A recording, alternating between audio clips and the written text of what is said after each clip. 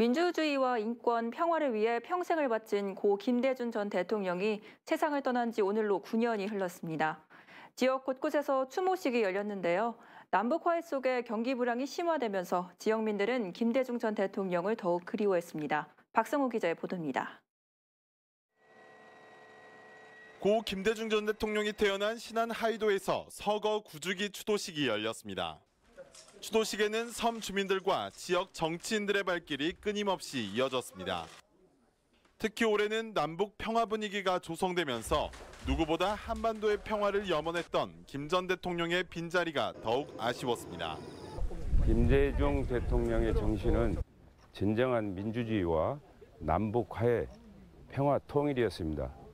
그 가치 실현을 위해서 산자들을 몫이라고 생각하고 광주 5.18 민주화운동 기록관에서는 지역 인사들이 참여해 고 김대중 전 대통령의 정신을 기렸고 추모 강연과 영원한 평화 콘서트가 광주와 목포 등지에서 진행되는 등 곳곳에서 추모 행사가 이어졌습니다. 정치권은 갈등과 반목을 계속하고 경제는 불황을 헤어나오지 못하는 요즘 지역민들은 외환 위기를 이겨내고 민주주의를 지켜냈던 김 전 대통령의 모습을 그리워했습니다. 김대중 대통령처럼 그 미- 특히 민주화에 그 공헌하신 분이 저는 없다고 생각하기 때문에 가장 그 존경하는 분이라고 생각합니다.